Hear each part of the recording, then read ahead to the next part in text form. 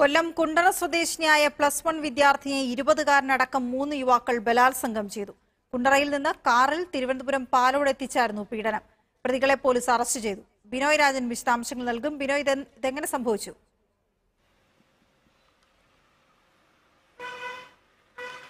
വീണ തിരുവനന്തപുരം പെരുമാതുറ സ്വദേശികളായ ജസീർ നൌഫൽ നിയാസ് എന്നിവരാണ് ഈ കേസിലെ പ്രതികളെന്ന് പറയുന്നത്. ഇവർ മൂന്ന് പേരും കഴിഞ്ഞ ഇരുപത്തിയൊന്നിന് ശനിയാഴ്ച ഉച്ചയോടുകൂടി കുണ്ടറയിലെത്തുന്നു. കുണ്ടറയിൽ വെച്ച് ഈ പെൺകുട്ടിയെ കാറിൽ കയറ്റി തിരുവനന്തപുരം പാലോട് ഉള്ള ഒരു വീട്ടിലെത്തിക്കുന്നു. ഈ വീട്ടിൽ വെച്ചാണ് പ്രതികൾ പീഡിപ്പിച്ചത്. ഈ ഒരു പെൺകുട്ടിയെ പരിചയപ്പെടുന്നതിലേക്ക് എത്തിയത് സമൂഹ മാധ്യമങ്ങൾ വഴിയാണ്. ഇൻസ്റ്റഗ്രാം വഴി ജസീറാണ് കേസിലെ പ്രതിയായ ജസീറാണ് പെൺകുട്ടിയെ ആദ്യം പരിചയപ്പെടുന്നത്.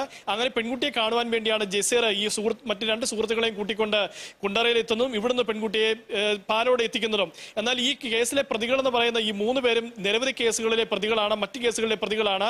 ജസീർ കഠിനകുളം പോലീസ് സ്റ്റേഷനിൽ തന്നെ കൊലപാതകം അടിപിടി ഉൾപ്പെടെയുള്ള കേസുകളിലെ പ്രതിയാണ്.